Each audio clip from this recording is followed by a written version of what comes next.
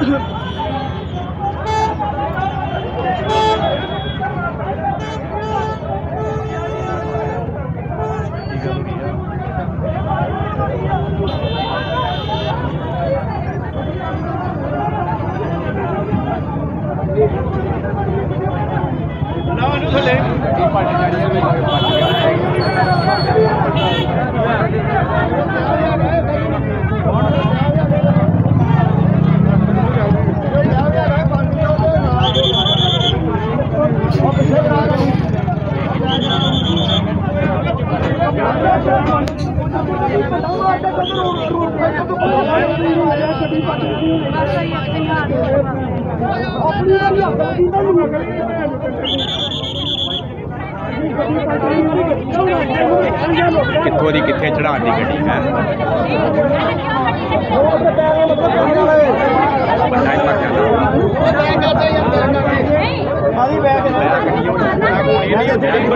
ਪੱਥਰੀ ਦੇ ਆਪਰੇਸ਼ਨ ਤੋਂ ਬਾਅਦ ਨੌਜਵਾਨ ਦੀ ਮੌਤ ਹੋ ਜਾਂਦੀ ਹੈ। ਜਿਸ ਤੋਂ ਬਾਅਦ ਗੁੱਸੇ ਦੇ ਵਿੱਚ ਆ ਕੇ ਪਰਿਵਾਰ ਦੇ ਵੱਲੋਂ ਡਾਕਟਰਾਂ ਦੇ ਉੱਤੇ ਗੰਭੀਰ ਇਲਜ਼ਾਮ ਲਗਾਏ ਗਏ। ਕਿਹਾ ਗਿਆ ਕਿ ਡਾਕਟਰਾਂ ਵੱਲੋਂ ਉਸ ਤੇ ਜਿੰਦਾ ਹੋਣ ਦਾ ਦਾਅਵਾ ਕਰਦੇ ਹੋਏ ਉਸ ਨੂੰ ਅੰਮ੍ਰਿਤਸਰ ਭੇਜ ਦਿੱਤਾ ਸੀ। ਪਰ ਪਰਿਵਾਰ ਦਾ ਦੋਸ਼ ਹੈ ਕਿ ਅੰਮ੍ਰਿਤਸਰ ਦੇ ਡਾਕਟਰਾਂ ਨੇ ਉਸ ਨੂੰ ਸਵੇਰ ਤੱਕ ਹੱਥ ਨਹੀਂ ਲਾਇਆ। ਜਿਸ ਤੋਂ ਸਾਫ਼ ਜ਼ਾਹਰ ਹੈ ਕਿ ਅੰਮ੍ਰਿਤਸਰ ਦੇ ਡਾਕਟਰਾਂ ਨੂੰ ਵੀ ਪਹਿਲਾਂ ਹੀ ਪਤਾ ਸੀ ਕਿ ਨੌਜਵਾਨ ਦੀ ਮੌਤ ਹੋ ਚੁੱਕੀ ਹੈ। ਦੋਸ਼ ਇਹ ਵੀ ਲਗਾਇਆ ਕਿ ਪਰਿਵਾਰ ਨੂੰ ਨੌਜਵਾਨ ਦੀ ਜਾਨ ਬਚਾਉਣ ਦਾ ਝੂਠਾ ਝਾਂਸਾ ਦੇ ਕੇ ਵਰਗਲਾਇਆ ਗਿਆ ਤੇ ਇਮੋਸ਼ਨਲੀ ਬਲੈਕਮੇਲ ਕਰਕੇ ਲਾਸ਼ ਸਮੇਤ ਅੰਮ੍ਰਿਤਸਰ ਭੇਜ ਦਿੱਤਾ ਗਿਆ, ਜਿਸ ਤੋਂ ਬਾਅਦ ਹੁਣ ਪਰਿਵਾਰ ਦੇ ਵੱਲੋਂ ਹਾਈਵੇ ਜਾਮ ਕਰਕੇ ਜਿਹੜਾ ਆ ਪ੍ਰਦਰਸ਼ਨ ਕੀਤਾ ਜਾ ਰਿਹਾ, ਇਨਸਾਫ ਮੰਗਿਆ ਜਾ ਰਿਹਾ। ਇੱਕ ਵਾਰ ਤਸਵੀਰਾਂ ਦਾ ਰੁਕ ਕਰਦੇ ਆ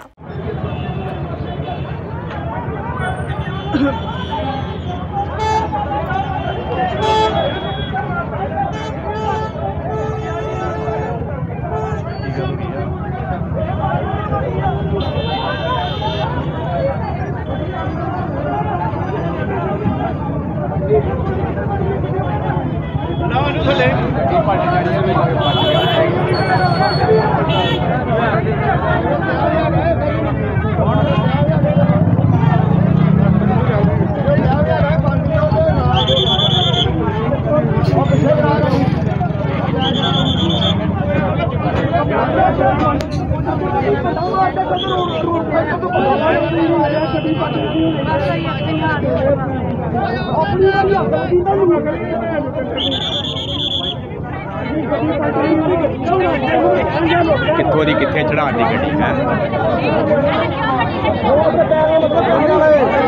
ਬੰਦਾ ਹੀ ਮਰ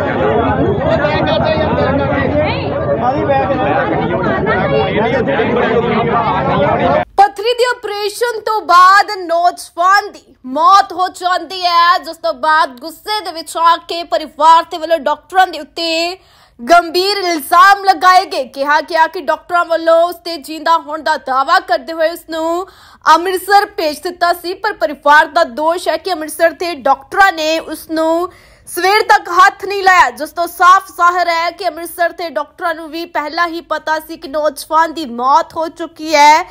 ਦੋਸ਼ ਇਹ ਵੀ ਲਗਾਇਆ ਕਿ ਪਰਿਵਾਰ ਨੂੰ ਨੌਜਵਾਨ ਦੀ ਜਾਨ ਬਚਾਉਣ ਦਾ ਝੂਠਾ ਝਾਂਸਾ ਦੇ ਕੇ ਵਰਗਲਾਇਆ ਗਿਆ ਤੇ ਇਮੋਸ਼ਨਲੀ ਬਲੈਕਮੇਲ ਕਰਕੇ ਲਾਸ਼ ਸਮੇਤ ਅੰਮ੍ਰਿਤਸਰ ਭੇਜ ਦਿੱਤਾ ਗਿਆ, ਜਿਸ ਤੋਂ ਬਾਅਦ ਹੁਣ ਪਰਿਵਾਰ ਦੇ ਵੱਲੋਂ ਹਾਈਵੇ ਜਾਮ ਕਰਕੇ ਜਿਹੜਾ ਆ ਪ੍ਰਦਰਸ਼ਨ ਕੀਤਾ ਜਾ ਰਿਹਾ, ਇਨਸਾਫ ਮੰਗਿਆ ਜਾ ਰਿਹਾ। ਇੱਕ ਵਾਰ ਤਸਵੀਰਾਂ ਦਾ ਰੁਕ ਕਰਦੇ ਆ